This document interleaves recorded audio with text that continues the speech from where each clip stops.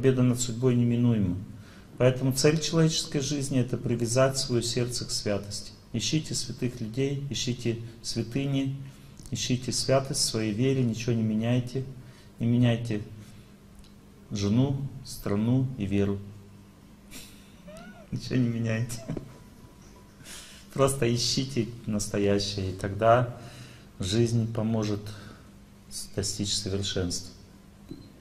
Человек должен, человек призван развиться, призван пробудиться, чтобы его сознание увидело всю глубину этой жизни, этого мира. В этом цель человеческой жизни, а не в том, чтобы просто решить свои проблемы, которые сейчас гложат тебя. Нет жены, нет мужа, нет детей, нет денег, нет квартиры. И человек мучается, думает, что это и есть самое главное в его жизни. Но когда он копит благочестие, когда он молится, делает добрые дела, желает всем счастья, просит прощения, прощает, кормит птичек, людей, всем помогает вокруг, заботится обо всех, не смотрит всякую дрянь по телевизору. Когда он живет чистой и праведной жизнью, то его благочестие копится очень быстро с каждым днем. А когда его благочестие копится, оно меняет его характер, отношение к людям, дает ему проницательность, понимание, как правильно жить, разум, силу, выносливость, веру, твердость духа. И так меняется его социальное положение в обществе. Он находит себе другие, новых друзей, находит новую работу. Есть последовательность вообще, как благочестие меняет жизнь человека. Сначала человек меняет свою собственную жизнь. Он начинает жить по-другому. Потом человек встречает хороших друзей, которые закрепляют его успех. Они уже как бы говорят, ну ты чего, ну так не надо жить, вот так, мы теперь так вот живем. Закрепляет его успех. Потом дальше, э, после того, как он нашел друзей хороших, меняется его работа или отношение к работе. То есть счастье больше на работе наступает, в деятельности. Потом, после работы, меняется личная жизнь. У человека появляется больше возможностей жениться, выйти замуж. Потом, когда изменилась личная жизнь, начинаются меняться дети. И только потом родители. А если уже родители начали меняться у вас, значит, все, что нужно, вы уже сделали в жизни. Вы все уже поменяли вокруг. Но если человек не меняется, он ничего не меняется.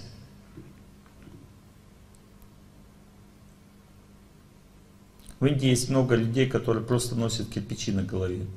Если их спросить, ну, зачем вы так живете, они говорят, мы не образованы, мы не знаем, как, ну, как бы, больше ничего не знаем, что делать вообще. Нужно только носить кирпичи и не носить. У нас два варианта есть.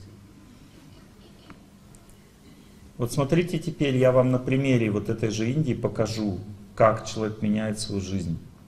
Среди этих людей, которые пашут в полях целыми днями или носят кирпичи, находятся более разумные люди, которые не то, что они перестают кирпичи носить, они идут в монастырь просто. Они думают, да нафиг нужна такая жизнь, лучше я для Бога буду жить. И они начинают жить для Бога.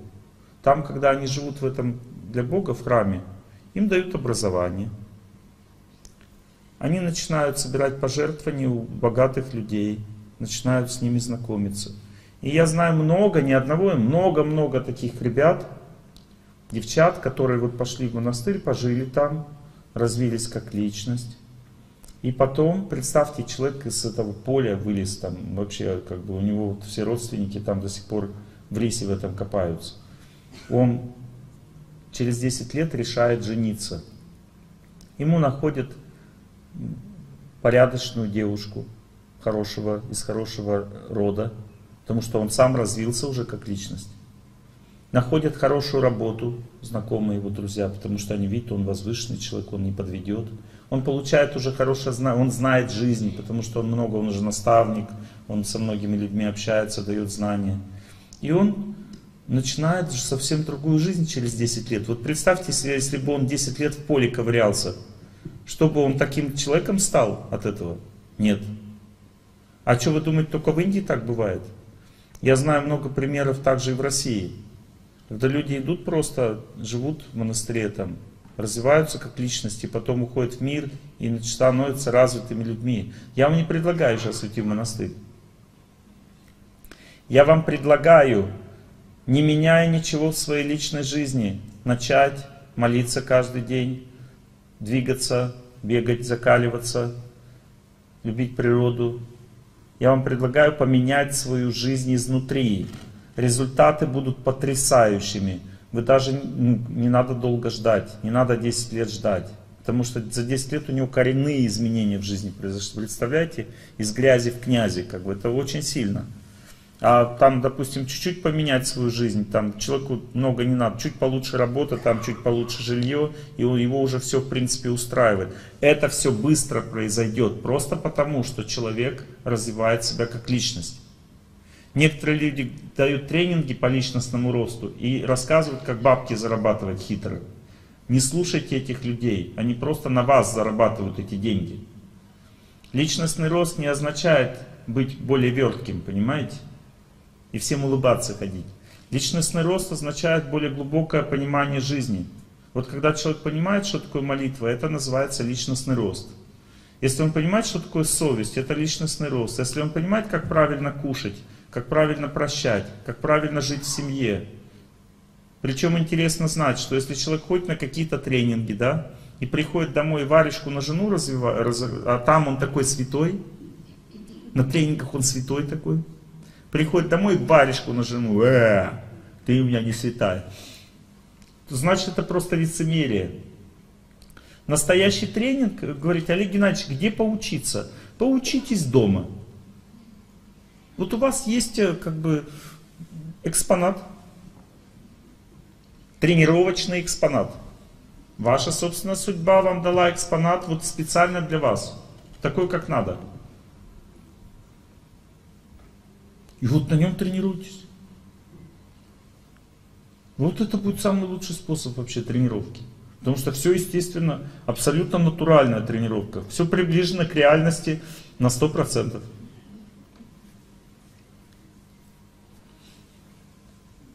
Одна девушка подошла ко мне и говорит, Олег Геннадьевич, какой толк, он пьет, изменяет там. Какой смысл с ним жить?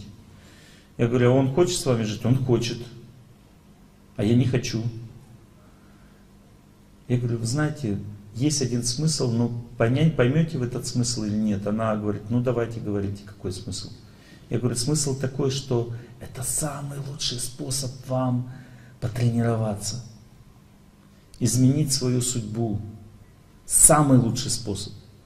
Вот прямо идеальный способ. Представьте, если вы сможете этого человека изменить, то вы станете мудрецом. А если вы его бросите, лучше все равно и Бог ничего не даст.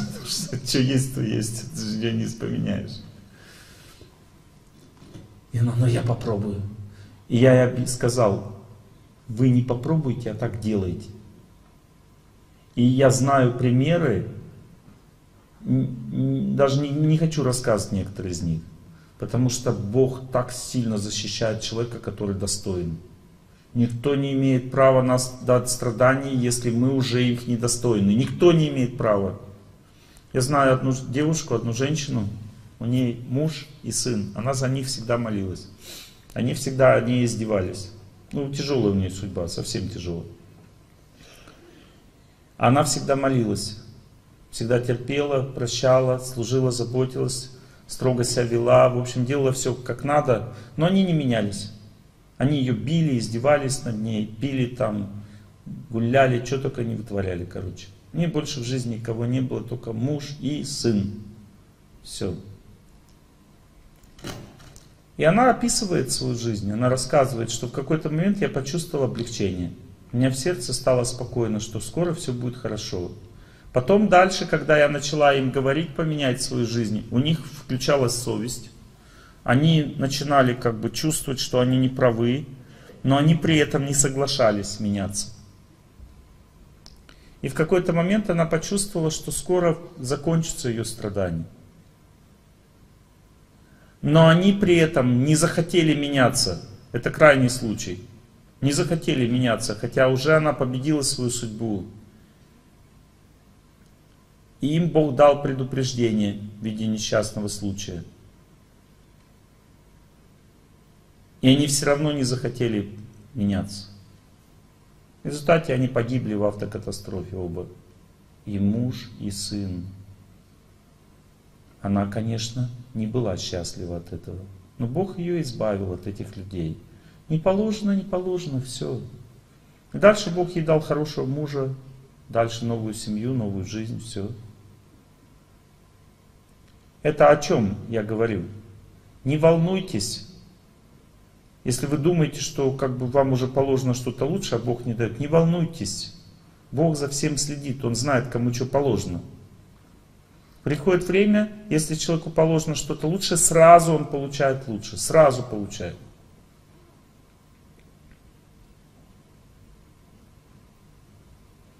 Ни одной секунды ждать Бог не будет, если уже положено. Ни одной секунды.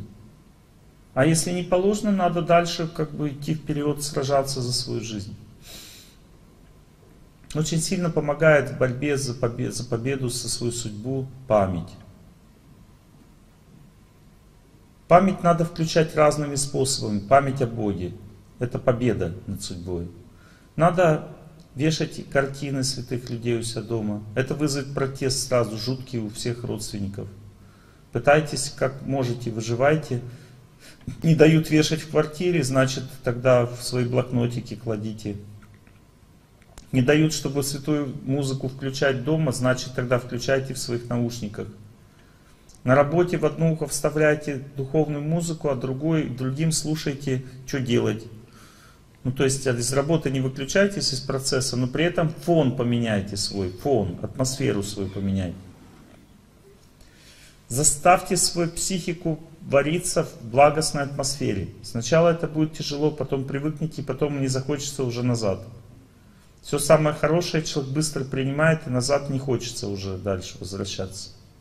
Когда готовите пищу, особенно включайте духовную музыку, потому что как пища несет в себе сильно судьбу человека.